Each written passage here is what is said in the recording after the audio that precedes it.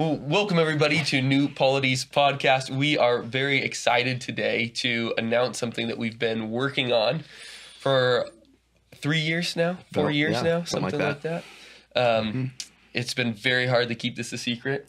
We haven't. We really haven't kept- We actually have not done it at all. Um, we actually announced it first to the attendees to the conference a week and a half ago or so, and it is this. It is the College of Saint Joseph the Worker.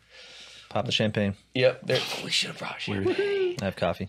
Same thing. Rise and grind, baby. uh, the College of St. Joseph the Worker is a unique college model where people simultaneously study the Catholic intellectual tradition to get a BA degree while also simultaneously training in the skilled trades. Uh, we have five carpentry, HVAC, electricals, plumbing, and masonry. Uh, so as to become an apprentice and ultimately work your ways towards a journeyman status in order to graduate financially net positive instead of up to your eyeballs in debt, which often happens. and with a with a job, a vocation, Yep. and a head full of information, Yeah. knowledge. So we're try- totally trying to call the bluff on the great divorce between the head and the hands, Yep. reintegrate them, uh, taking Christ himself, the incarnate flesh, who picked up a hammer for most of his life, as John Paul II said, and uh, and to and really take seriously, I think more than anything, the idea that if Christ does reveal true humanity to us, then we really have to take seriously the craftsman side of, of his life. Absolutely. Yep. Right. So we're here with Andrew Jones, a board member and teaching fellow, Marc Barnes, professor of this college, and Mike Sullivan, El Presidente. El Presidente. So, And you. And Oh, me, yeah. Jacob Imam. Yeah. I wrote the business model originally, but I had many more. But it was all it was kind of one of those, you know, you write out comes some specs and you get a lot better minds on it and it becomes a good product. he's moving into a janitorial position. Yeah. Yeah. He'll be the Written myself out of it. So You see me cleaning toilets? no, you're good actually. Uh, yeah, You're thank good. you. Yeah. Sparkled. Yeah. So you said that students graduate financially net positive, and to me, this seems like one of the most exciting parts of the college, not just simply because of that money, but because the inability to imagine education without crippling debt seems to be indicative of a larger problem in higher education today. That I mean, you can s- talk about this in a lot of ways, like the commodification of um, higher education, the way that higher education functions more as a cert- certification process rather than an actual um, Education. when formation and becoming a kind of person, you instead get a certificate to be able to work certain jobs, and even that is less. It's not even a good certificate anymore. It, it- Right. it used to be a good one, But it's like it's like this the the the do not pass go without this certificate. right. Yeah. You can't be in the middle class unless you have one. But I wanted to before we kind of go into maybe the the reasoning behind gra- like graduating students financially net positive without debt, which is a phenomenal goal. It also I think seems to most people an impossible goal.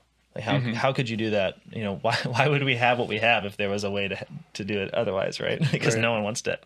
So could you like explain the mechanics of Well- graduating net positive? Part of the training Yeah. for a tradesman is doing the work. And so if you're doing that while you're going through the program, you're able to earn money. Right. And um, the other thing is we don't have the overhead that larger universities have. Yeah. We're very, what would you call us, lean and mean? Spartan. Simple. Yeah. Spartan. Yeah. Right. And so we can make the tuition quite affordable. right. And uh, the students themselves will be earning money while they're going through the program. So it, it works out.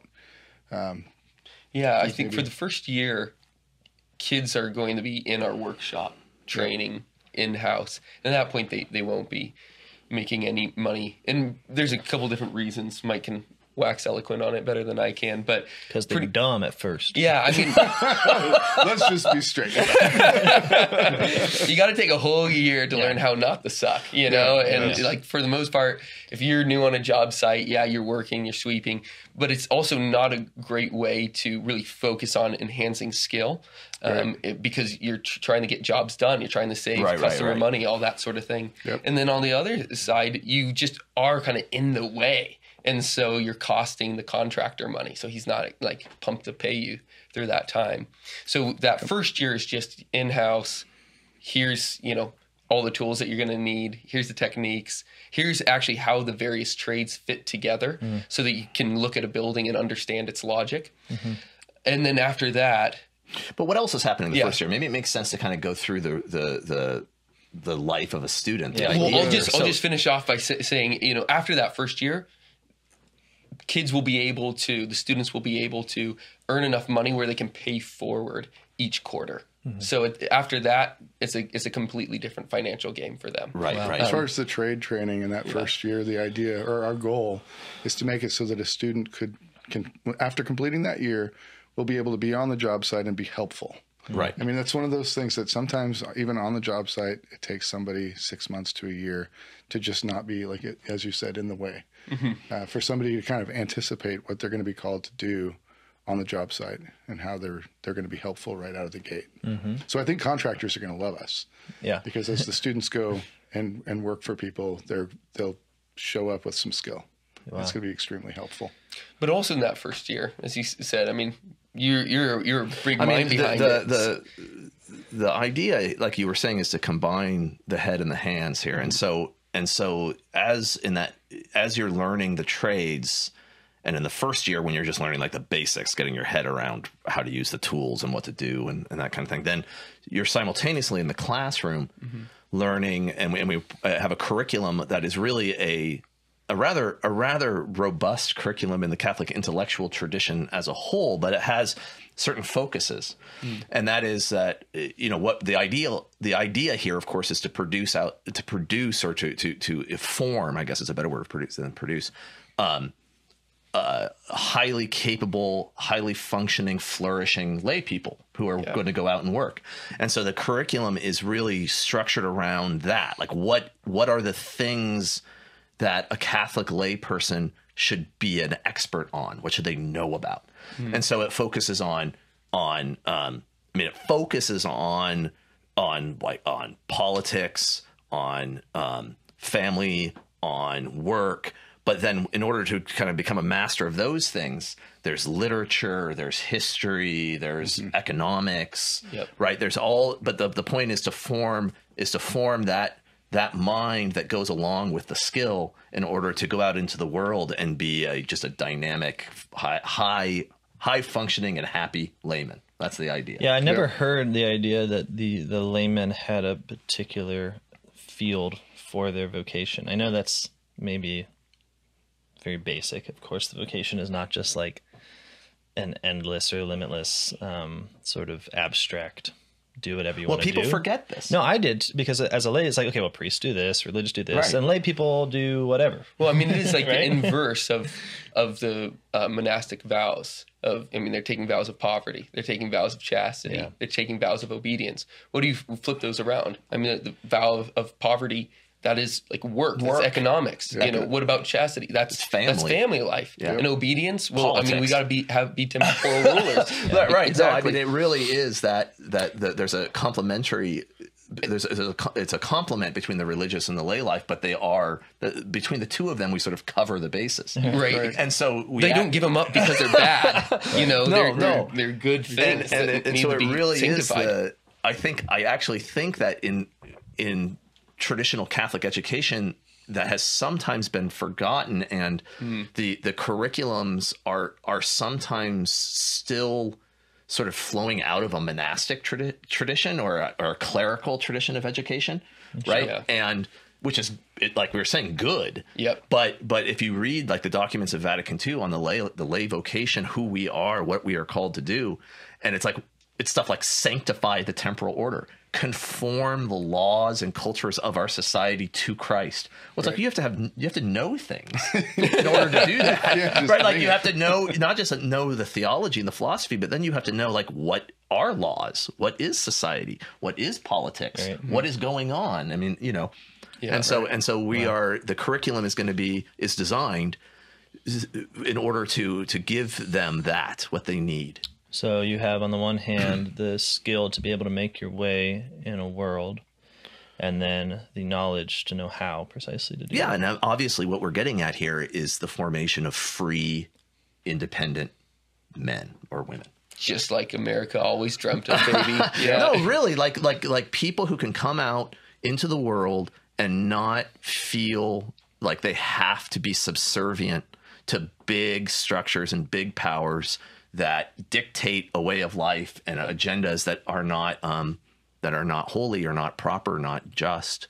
Yeah. But you come out with both the knowledge and the skills to to to actually become a ruler, like you said, and mm. not and not just a subject. Well, you know, this really, I don't mean to like just say the American thing true. jokingly. I think it's just true. the best I thing mean, about America. It, I think it is. Like Absolutely. Jefferson just envisioned the yeoman farmer Right. as the guy who's self-sufficient. He and Madison saying, you know, these are the guys who have a high commitment to their local communities. They are high in virtue because they actually have to work. Work. They have to engage. Yep. That whole thing about industriousness. We'll talk about that at some point. Yep. I'm sure. Uh, it's, They're just- politically independent because Yeah. not only for a couple of reasons. One is that they ha- they have skin in the game. Yep. Okay, so they Absolutely. they care, It's huge. Right? And that's a big thing. And they care locally, right? Yep. Like they don't not just some sort of abstract global politics or eh, national politics, but like they care about where they live and work because that's that's what they're doing. They're working there. And then also they have um, because they have both skill and the virtue to use that skill and property. Yep. They're they're actually independent from large structures of power. Exactly. And when things get uh, dicey in their work life, they can just do their own thing. Yeah. Which is what many of the guys that I've worked with have done. You know, they they've worked in larger businesses and then they start their own. Yeah, that's right. Well, and, and I think this is the other thing, and we talk about this a lot in the in the office. Just in the 20th century, we really praise the small business owner. Yep. You know, and we've not quite forgotten that vision. I think that's still just deeply rooted in all American hearts. I, and I and I think But- that you when you but brought up think they're the Jefferson and the yeoman farmer, it's the same idea in a different economic context. Yep. Yeah, right. Like we're not a society of small farms anymore, but being a society of independent business, independent businesses is similar. yeah. Well, and it seems like the Catholic tradition has always um, said this, and, and that's that ownership um, is the foundation for freedom, which is to say, freedom is not this abstract capacity to do what you want. Um, It's freedom, the positive ability. the capacity to act. Right. And so in America now, especially with the crippling cost of higher education, you have people who have a theoretical freedom, Yep. which is to say, you know, the world's open to you um, and there's not much constraint on you living how you want and expressing yourself how you want. But you got to come up with a thousand bucks a month to You pay formed your student mind. loan. Right. It's going to cost you, buddy.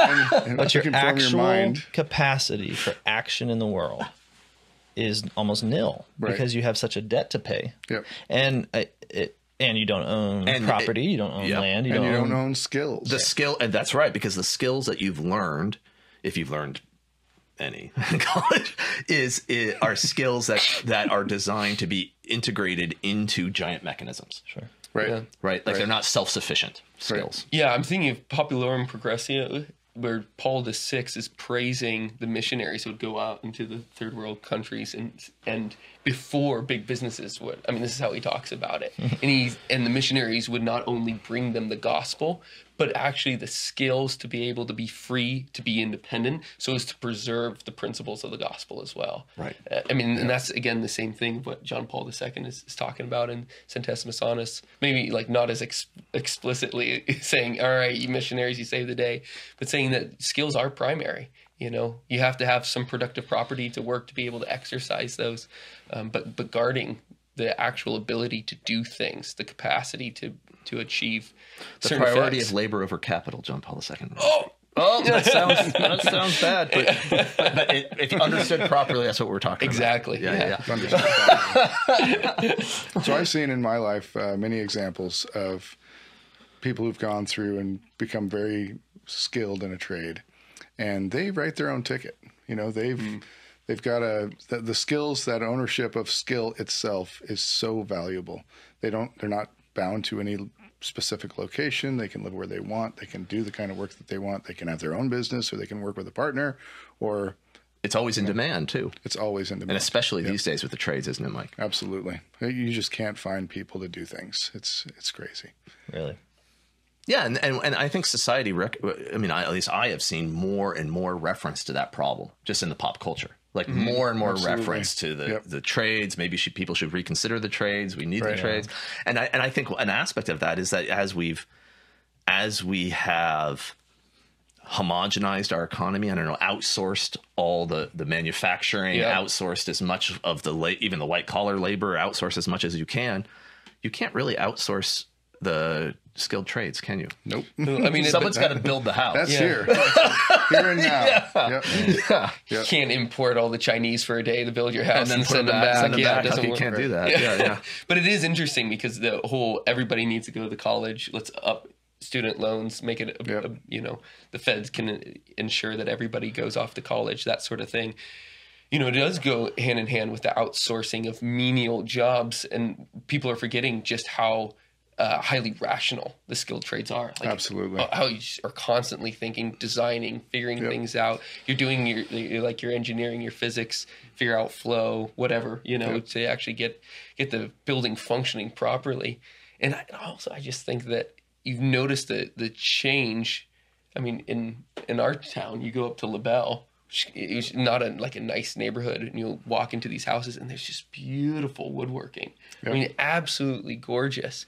And this is just kind of a, a common house up there. That's not where like the managers of the mills were living. I mean, I guess on one street they were, but for the most part, it's it's just a was the regular workmen. It was the workers, yeah. and that was and those was like the quality of their houses all of a sudden i mean there's so many factors here but you know one of them is just we've sent out uh, we've told people that the blue collar trades are no longer dignified uh, we've gotten back into that aristotelian ciceronian idea that if you're touching things with your hands it's servile work Right. um, forgetting that christ himself god himself spent most of the years of his life at a workbench Yep. and and and it's just no wonder that the quality of our buildings have significantly decreased. The quality of our homes have significantly re- decreased. Things are breaking all the time in a way that they just didn't. Things just don't look as beautiful the as they beauty used to. the beauty is a key because uh i mean mike you know this as a as a as a construction guy that when people get really good at a at a trade it it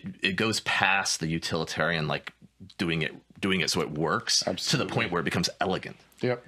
you know you, yeah you open a you open an electrical box that a highly skilled, intelligent guy worked on, and it's just you know There's it's a like beauty a to it. symphony. yeah yeah yeah Beautiful. right um, and then or the way that somebody does conduit or even ductwork. Uh, Mm-hmm. I mean, it's it's just a purely functional thing, but they turn it into something beautiful because they can. Because they're so And good at so it that it mad every little Every piece little, pe- yep, every Yeah. little thing matters. I have a, Right. an electrician that I, I hired recently to do a little job for me, and he used a laser level to figure out where to drill across the stud lines. And 'cause so if you ever was a if you ever were hanging dry ripping the drywall off and you know putting exactly it back on it where would be is. yeah exactly where line. it is. And the guy, I mean, of course, that's every you know many people would say, well, that's just overkill. But this was a it was a very nice job and a very nice house, and everything else was perfect. And he d- did a perfect Let's job make with it the perfect. electrical. Yeah, was- nobody's ever going to see it except for me. And I think it was just uh, it was it, I really enjoyed that. Yeah, yeah, yeah. yeah it's kind of like the whole steve jobs said that in the inside of a computer it had to be organized and beautiful you Yeah. know there's one side it seems insane but on the other you, you think well that's actually properly human We have to, yeah, Yeah. we have to fight the temptation to just make something that's that's practical, um, just ugly. You know, we've got to we can make everything beautiful. If- if- You know, we've got to put ourselves into things, and And this seems to be, transform. yeah, it seems to be part of the marriage between the intellectual tradition that we want the school to teach and Yeah. then the skills they want to teach. Because ultimately, what we end up teaching is that there's an order to the cosmos, um, and that the unity between form and function, between how something appears and what something does, is not accidental. It's not like, well, you can make it work and then you can embellish it in an un- unnecessary way so that it looks beautiful. Like that that has been a it's quite the opposite. It's precisely by making things work in order with the world. You're also making them beautiful because, you know, beauty is a kind of order. this is this is Uh, so order is a kind of beauty. it's so important and human beings are the only ones capable of forming things in, in, in, into beauty Yeah. and so like you said the, the cosmos has an order to it but there's a certain unfinishedness to it. I mean, what I mean is like human beings are called to then to then order it as an as something that is beautiful and, and elevate it um, as really a, a way of offering the cosmos back to God. And this is kind of abstract theo- theology, but it's real. I mean, and it's what you were what you were talking about with form and function is an important thing. My dad, growing up, my dad is an architect, and, and he used to say these sorts of things to me like, well, if a house is just to keep the rain off you, then why don't we just live in a steel container, like one of those shipping containers? Yeah. And it's like, that would do that. And he's like, but that's not what a house is for. A house is for human flourishing. Right. Which it's not just to keep the rain off you and to, and to keep you cool in the summer. It's like it's for you to be happy in. That's what it's actually for. And that and there the function is the form. Mm. Yep. The form is. The, I mean, they, they they converge into each other. Yep. Right. Absolutely. Because we're not happy in ugly things. Yeah. And our Right. hope our hope is that the college is, is teaching precisely this. Like to grasp the Catholic vision of the order of the cosmos through the kind of intellectual work that we'll be doing in our classrooms is to be the kind of person who can see how his work fits into building up that cosmos into a beautiful temple for God. Right. You know, Right. when Adam was given the commission to work, it was also to order, to till, and to keep, which mm-hmm. is quite literally referencing tilling, you know, in lines, making the making the world ordered, making the plants grow, you know, in a way that is Yep. they won't do on their own, and keeping, you know, uh, reference to shepherding, which is the same with the animals. Which is then language that's used later in the scripture to refer to the temple and the temple service, the liturgical service. And that's not a coincidence. Yeah. I mean, that's like because that kind of work is, like you were saying, an act of, of worship if done properly. And it does seem to me that there is a odd idea that you can separate these two within a lot of higher education, even Catholic uh, education. I think sometimes the sometimes Catholic education can lean too heavily on um, uh, sort of liberal arts notions that take a lot more from um, the Greeks or like Aristotle than Yep. they do from the medievals. I Yeah, would I think that's Um, absolutely right. Yeah. and we can sometimes forget i think because you know obviously st thomas aquinas baptized aristotle we forget that he had to be baptized right and so Yeah.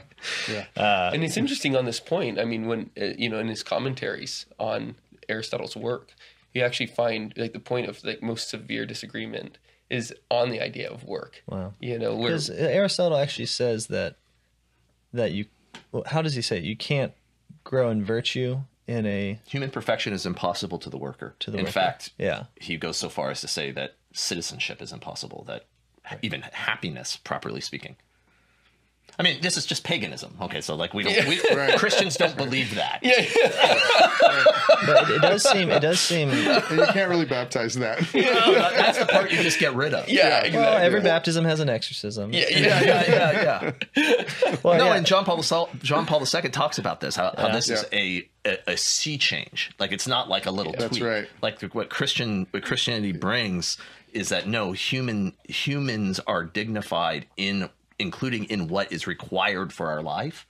It's not like so Aristotle has this idea, and this is maybe we- we don't need to get into this, but like in order for human perfection to be achieved, there has to be slaves. Mm-hmm. Because the slaves have to provide what the humans because human needs are somehow gross or degrading sure you're yeah. Right? And that's and, the, the, but the incarnation does away with that entirely. Right. it's like no Yep. actually our material needs are dignified. Right right, right, Yeah. If, if the baseline of any economy is food, shelter, and clothing, like if those are just necessary, that God in His infinite wisdom designed the the cosmos so that those are the things that we all just have to do, then that can't be a stumbling block to our Perfection. perfection. That has to be the means Exactly. to it. Right. And I think you know, and, and just to go along with it, I think so much of the work i mean the, the work that the pagans idealized was something that was superfluous actually right and um, and i think in, in similar ways you start to see that in liberal education creeping in where the best type of knowledge is superfluous Right. knowledge Yep. uh, nothing not the contemplation that leads to activation as as the monastery is so praised you know and from and from the active life back to the contemplative so they're uh, mutually reinforcing and totally intertwined i mean that's the christian incarnation the word becoming flesh right there and and i and i and, and st thomas of course brings up the problem of the education and kind of the famous studiositas curiositas dichotomy whereas studiositas is really this desire to know the order of the world that god has created so as to till in the keep, so as to cultivate. Right. Whereas curiositas is just kind of you know you know scratching an intellectual itch. At worst, Mm-hmm. it's manipulation Mm. of of the world. Right. It's idle. It's yeah, it's idle. Most most fundamentally, it's No, idle. I don't- But how much does work still have that same sort of basis? Where on the one hand you have the virtue of industriousness. I mean, this is something that John Paul II also talks about, but you Yeah. also find it in medievals, in Bonaventure, in Peter John Olivi. These guys uh, talk about industriousness as, as a way of striving for, working for the common good, like having your work be a gift that you can give someone else. Right. Well, in the same way that you have studiositas and curiositas, you can have industriousness and and toilsome labor. Um, not toilsome in the sense of the guy in the factory who's producing the shirts for us to wear. I think that's toilsome. Don't get me wrong. There's some sort of abuse going on, but a type of labor that's not actually achieving good work for the Right. common good. Right. You know, something that is you know engaging in zero sum you know speculative games as John Paul II. You know, that's his prime example right there.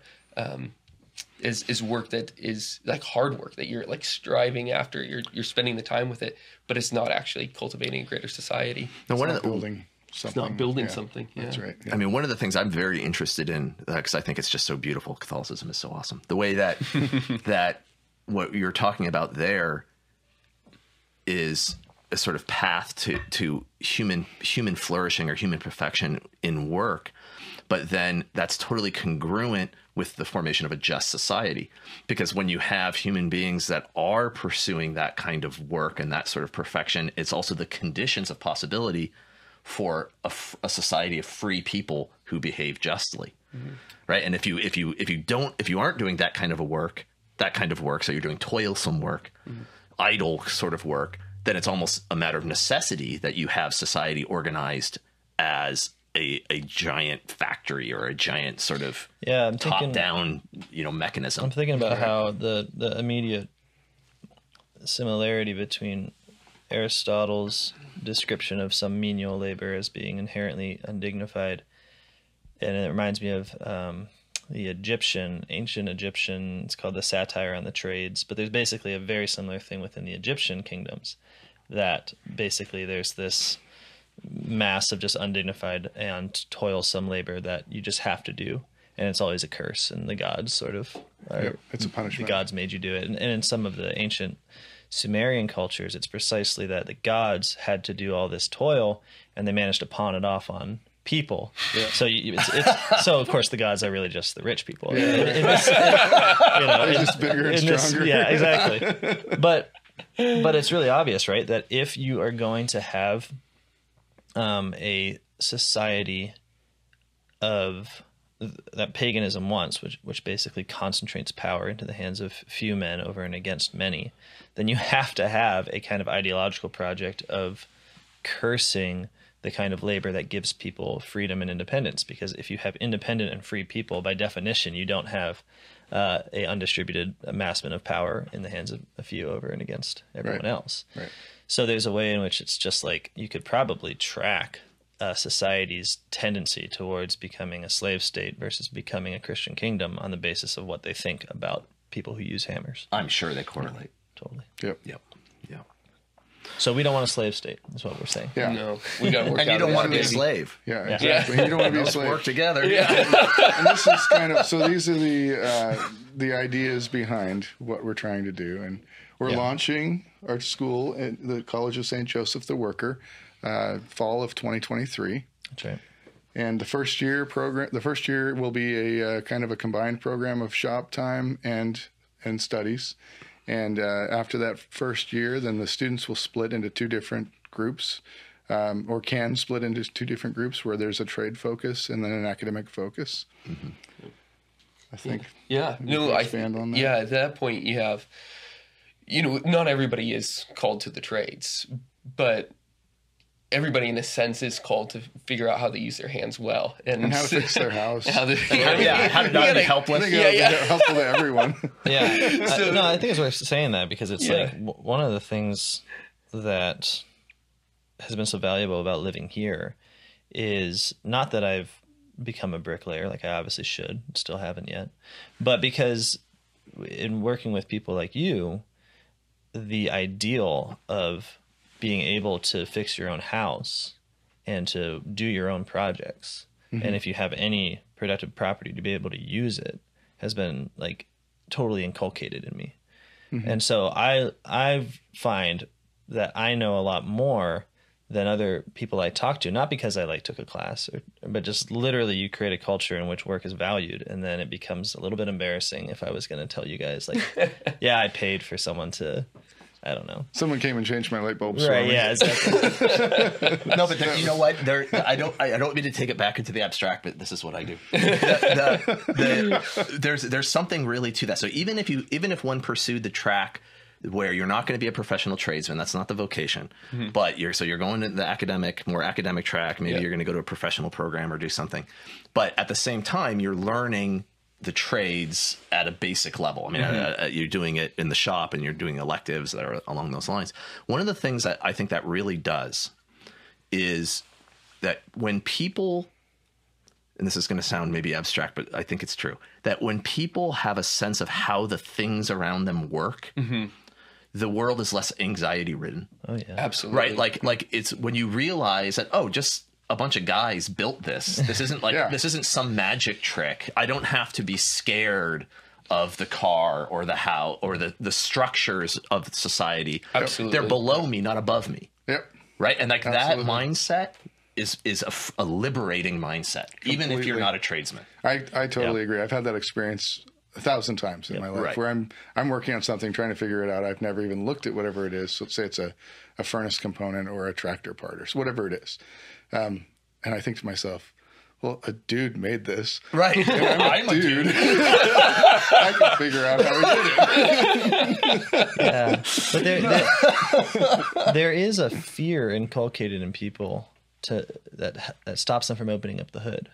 Yeah. As I I felt that en- entirely. Like, I mean, and some of this is very natural, right? Because as a kid, you grow up and the world is given to you as completed. You don't conceptualize it as coming forth from human ingenuity. It's just there and you're living mm-hmm. in it.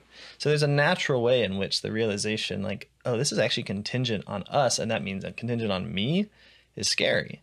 Like that, and I think that's a is a natural fear in the sense of like it's part of growing in wisdom is to make that transition and say no, it's not just gonna happen. It's not just n- nature here. It's like you, you got to do it. Yeah.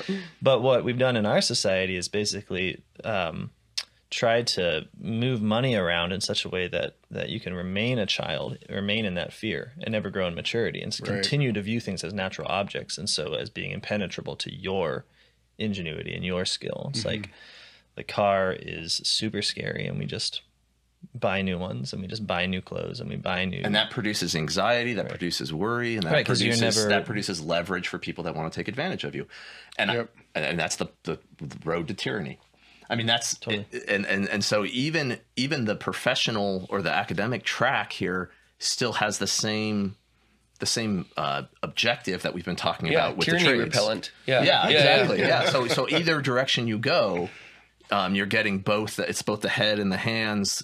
The me- the mechanism of the world and h- how we understand the world are always together in both tracks. Yeah, and there's kind of an emphasis here as well. I mean, so you used to work as a carpenter. Yeah. You do work as a carpenter. Uh, you are- have a you know a, a high. You're a, you're a professor at Franciscan University uh, full time. You're you're you studied history. You have a PhD. You have higher degrees in theology yourself, but there's the the, the differences between the emphasizing like the primary work of yours is uh, is academic. Primary work of yours is in the skilled trades, but you have to have both. Well, yeah, and like, And and like I do, I do almost all the work in my house. Yeah. And then every once in a while, I'll send a text to Mike. that says something like, "Do you think this electrical looks okay?" And he's like, "I wouldn't touch that or whatever." You know, because because you know, like I know Well, did my way do that around it, but I'm not the expert. You know. Yeah, exactly. but you kind of both, in some strange way, uh, are are the mascots of the two tracks in that in that regard. I mean, we Yeah. like when first, you know, Andrew and I spent a lot of time like in the early months, like putting this all the numbers together and whatnot, and we ultimately just realized we're trying to produce Mike Sullivan's. Like, if we're gonna do that, we just got to have him at the helm. and that's that's what ended up happening. So we're really Well, I'm excited flattered about by that. that, but I also wonder about your judgment. yeah. It's gonna be No, it's gonna be awesome. The other thing, fun. the last kind of track that we have on offer to people is uh, like a, a craftsmanship certificate. So this is a gap year Yeah, program. One year. Yeah. Yeah, gap year, you know, one year program. I mean, you could be done with college. You could be, you know, about to go into it. Uh, you know, the kind of the studies are clear on this. You know, the guys who take a year off before going to college Yep. to do something, they they have a better sense of purpose of what they actually want Yep. to do. They have a better sense of purpose in their studies itself. They're more focused. and they do better. yep, they and they just do do better. better. Yep. So I think you know gap years are slowly on the rise. They're standard in England. You know, it's so funny there. Uh, it's a completely different culture. Hmm. know that. That's- yeah, that's everybody does it pretty much. Uh, here, it's kind of slowly on the rise, and um, and so we're making that available to people. All the You- Sullivans do it. See? Every one of my kids will, you know, Yeah. that's one of the things we you kind know, of common encourage. sense. Yeah, yeah. So what else? I mean, what what are some of the more like mechanical details of this thing? Like it's in Steubenville, Ohio, yeah. right? So just I don't think we've even mentioned that. Although that's where we are. We're not We- gonna move. We assume Yeah. Steubenville's sort of the center of the the, the world. True pole of the earth. Yeah, right, right. The capital, the capital. So uh, obviously it's in the capital. Where else are you going to restore the country? Um, and there's a the, there's a big shop workshop here that we have with all the tools and everything ready. The guys are are in place to start doing the teaching, and then um, uh, classrooms, you know, housing is is is being established, and Well, the housing is pretty fun. So this is actually it's called uh, the Villa Maria. Yeah, Uh, it's a former uh, religious order housing for the for the Marian Fathers. It's beautiful. Uh, no, it was No? Mar- there was the Brothers of the Immaculate Conception. That's what I meant to say. Yeah. Uh, they were a local, uh, local order that just were developed to serve this diocese. oh, amazing. Yeah, and there were two of them left. There used to be a large, pretty significant number of them. I'm not sure how many, but they were just in this diocese and two. anyway, it's left. appropriate. Anyway, then, yeah, it's appropriate then that their facility is being repurposed for Yep. what we're And doing. it's beautiful. Gorgeous Yeah. cherry paneling inside. Um, There's it's a very large house. It will be a great place for for the guys to live. Girls will send them off somewhere else. it was the Yeah, first yeah. seminary of the diocese of Steubenville. Wow. That's where the where the men all lived, and then they then they built this the um, the one in Bloomingdale. awesome. So that, and now we don't have a seminary here, but. Back But we're going to have this college. So. But we're gonna have this college. You know Alex Wren, you know who is like you know the the, the magician behind He's the the curtain. man. You know. Yeah, yeah. yeah. uh, in this whole process. He he said that if we tried to start a seminary, he'd quit and go find something else. Of course he did. Definitely doesn't sound fun. yeah, So I mean, it's said it's, I would it's, quit it's, too, uh, yeah. the campus then is, you know, it, the the college will be in downtown Steubenville. Yep. So it's a it's a you know a bit, a the, an aspect of this is the students are being integrated into the Steubenville community life, Yep. which is rather um, bustling Yeah, seriously. These days. Goodness. these days. Yeah. So yeah. I mean, it is. Again, I don't want to too much cast aspersions on higher education, but it there's the general college campus feel has, has kind of become a bubble. No matter where you're talking about, if there's like a public university, private university, it's kind of protected off. I mean, the idea of, of I mean, you just mentioned student housing, but it's all, but it is like a house, and uh, we have a very different model. I'll talk about that in a second. It's not like a dorm, which is again like a container. It is more like the shipping container thing, Right, right. uh, where you put there, you don't have any responsibility over it. Uh, you you never really learned. You get a chance at learning how to fix things. You call maintenance Yeah. guy if there ever is a problem. There rarely ever maybe cook is. dinner. Yeah, you And might maybe cook dinner. maybe do your laundry. Yeah. Stinky. No, yeah. um, and clothes. and I think that's part of the problem of, of seeing kids see further into adolescence as they go into college. Yep, you know, I certainly saw Yep. that in myself. You know, when I went to undergraduate, that um, So you know my parents were doing pretty well, and then I you know went down again. you're, you're actually saying that that kids will have some responsibility over the housing. Yeah, I guess the first thing is just being integrated in the community, Yeah. like so that you're not just ice, like you're not only dealing with people your own age. You know, you're going to be part of the parish. You know, we don't just have a particular order that's over you. We- We're partnering with the diocese of Steubenville. This is not a like a diocesan project, uh, but you know, the bishops on our board, uh, of advisors. Very strongly endorsed us and gave us his blessing. Yeah, we're partnering with you know the local parishes. Uh, the priests are are, are great, um, but we want them to be actively engaged in parish life. Um, but also, as it pertains to housing, we're not charging for for housing. You know, this is one of the things in the model. So, because we want kids to be the students to be able to be raised up into owners, we don't have an ownership society. We're not used to what that means, the responsibility that it requires. Yep. And so, we're going to have them pay their utilities and their taxes. And do some maintenance on and the do house. the basic maintenance. Yeah. Yeah. If they want something improved, awesome. Go build it. Yep. You know, it's yours. Yep. Um, so this is this is part of the, you know, popping of the bubble, as it were. Well, it does seem to me like again, in every university around the country, the movement has been to create worlds, um, of totally self-sufficient worlds, um, to the detriment of cities um, and locations in which these universities are. Because what you have is, I mean, think about it, the bureaucratic bloat that most um, universities take on themselves, just the sheer amount of money going to sustain a bureaucracy that's essentially in charge for entertaining students, housing students, creating um, like the entire food production and eating sort of you know Yeah, it's like a little canteen.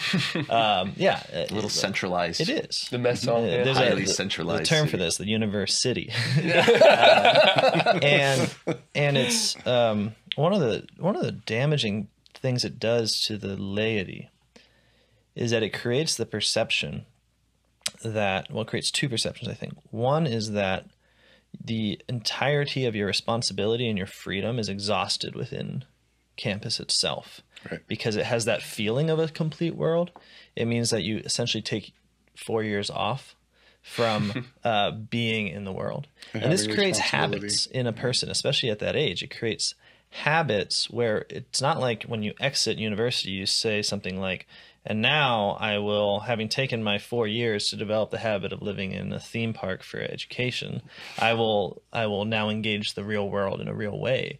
You start, you, you become accustomed to dealing with the real world as if it is a series of other like large institutions that have their own kind of self-sufficiency Mm-hmm. in which you are completely either taken care of or or subjugated to Yep. um, you don't have this sense of freedom in a world that's changing and is at the disposal of your power like i can do things here i don't just consume it i, I do things Yeah. Right. um, of course i'm being i'm exaggerating right because it's obviously i'm not saying that you know people do this even on the university campuses because Because it's human nature. humans are real not Yeah. and so of course there's this great diversity of, of culture that that people will do no matter what but what i love about the college of st joseph the worker is the intention is not to wait around for four years but to begin both in terms of how, how you work how you study and how you live. You, you're beginning.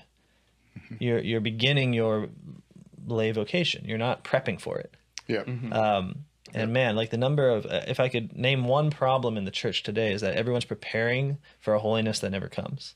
Right? Like we talk, like Jacob and I talk to people who are like, they're preparing to use all of their money for this good thing. Until they get there, they're going to keep investing it and keep on making more Right. money in the stock market. And eventually, Yeah. of course, what does that do? Well, it builds a habit that by the time you get to that point, where you're like, You time to spend to. all that money, Right. you've just habituated yourself to not spending money. And you're Right. like, oh, well, now I really have to be responsible Yeah. again. You have to keep changing the definition of an enough. right exactly and, and it's the same yeah and so we, we tell ourselves these stories of how later we'll begin to be christian and then we die Right.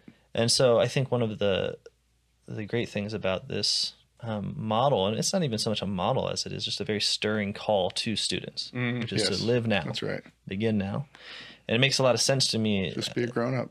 yeah. Well, I think about like you it. know, I grew up in the whole like World Youth Day like kind of push. Uh, I guess that's. I mean, you know, I'm talking about like World Yeah, Youth yeah, Day culture, diocesan retreat sort of thing. The youth, Yep. and it just struck me that the popes are just constantly showing up to young people and telling them to not be afraid. Um, and and this seems to be what's what's really fundamental. You can hear that; it just sounds like okay, yeah, you're being nice to kids. Kids like to hear that. It sounds But- like a platitude, but it's not. It's not because the presumption is that they are afraid and that they need to stop being so scared. Yep. And it's not just saying, like, you guys are great, go go do well on your sports team or whatever. It's saying like you are in a society of fear, regulated by fear. In order to be Christian, you need to not be afraid. That's how you begin. And so if we cannot be afraid of the world around us, if we cannot be afraid of the communities around us, and if we cannot be afraid of the cosmos, like really engaging it, then I think we're kind of trying to we are fulfilling the the I say the Pope's demand, obviously Jesus Christ's demand mm-hmm. to not be afraid, and so that we can build societies that don't find their cohesion on the basis of a mutual fear and anxiety, but find their cohesion in, in love and and the willingness to risk. Yep. Seems to me seems to me that the college is going to help us get there. Well, please God, let it be. Yeah. So, if you want to come to the college, here's the great, great pitch. Uh, applications are open. We'd love to to consider your application for the fall of 2023.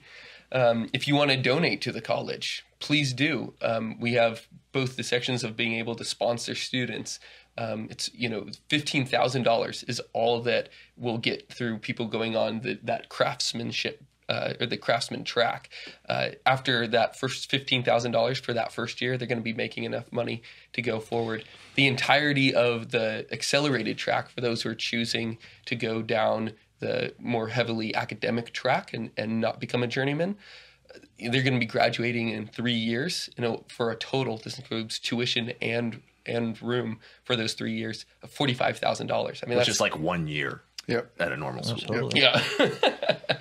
um, if you want to sponsor students, that's a great way of doing it. We're trying to expand. Um, we're kind of in the the early rental TAC model type thing at the beginning when they're in trailer parks or whatever. I don't know how real that story is, but it's an awesome kind of like we They started had- Apple in our garage thing. yep. Yeah. Uh, and we, so we, we want to expand into our own academic building. We we have this beautiful workshop right now. The diocese is, is being great to us, letting us use an old um, school uh, of theirs that's that's now empty. It's, it's beautiful over like with a great view and everything in it too. So it's a great place to be um, for these early years. We're doing better than, than trailers for now, but and uh, that's for our classrooms. that's for a Yeah. classroom classrooms. space. Yeah. Um, but we also need to add on to student housing in, in the years to come. So there's there's many good things to um, to give to in the college as well, and we'd be really grateful for for your donations and your alms. Um, And what's the application? I mean, what, what do people need to apply? um, well, it includes uh, a 10 mile run Good. Yep. and Push up contest. yeah. Oh, I'm out. you know, I'm selling you out. Marc used to do clap push-ups in the office at one point, just to get the blood flowing. I Yeah. don't think that's true. That doesn't sound like me. True. So I if you go to it. col- the College of St. Joseph the Worker dot com. Uh, collegeofstjoseph.com. Yeah. College of St. Joseph. Actually, I think we have all the URLs, so you can go to any, Any one of them. variation. Yeah. Yeah. So college yeah. of St. Joseph.com. There will be a link to apply and you can follow the process there. Yeah. Yeah. Uh, So that's the first is just a very general paperwork. Fill out, write your essays, make sure that you have all the smarts you need. Second phase is uh, actually we're going to have an interview with you. We'd like to see your face. We'd like Yep. to get to know you. Yep. Uh, like you to get to know us more personally as well as, as we start to get into that real evaluation for the next few years. And that's and then you'll hear back from us, and that's how it goes. Pretty simple. Yeah. Cool. Final thoughts?